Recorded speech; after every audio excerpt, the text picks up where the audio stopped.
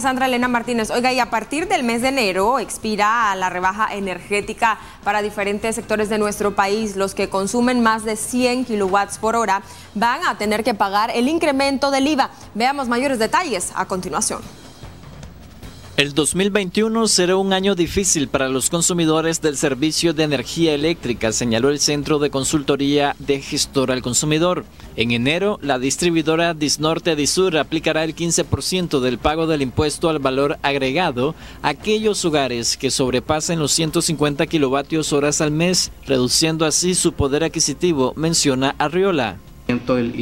¿Qué significa esto? Que los nicaragüenses vamos a tener que ajustarnos un poco más a las medidas económicas para poder pagar el servicio de energía eléctrica. Esta medida se hace por recomendaciones que se hicieron al gobierno central en los años de negociaciones y que se perdiera el subsidio, porque en Nicaragua aún persiste el subsidio cruzado.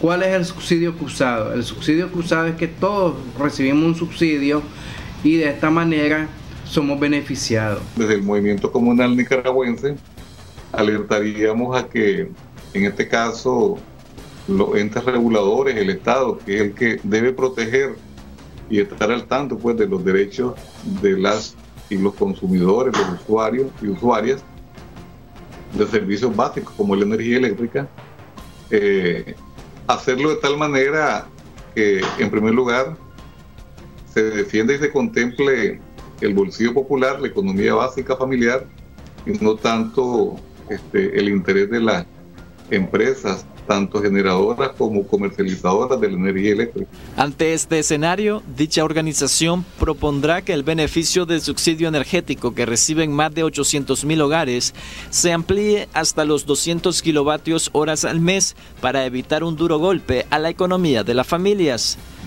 Los nicaragüenses debemos de estar claros y consultoría gestora al consumidor es que ya los nicaragüenses no podemos pagar 150 kilowatts, sino que vamos a hacerle una carta al Ministerio de Minas e Hidrocarburos que dirige el, ingeniero Manfeld que sea el 200% de kilowatt hora para que podamos pagar o ser cubiertos por un subsidio y que no se y que no se grave con el IVA el 15% a los consumidores de energía por la crisis sociopolítica y por la crisis sociopandémica a nivel mundial y Nicaragua no ha sido la excepción.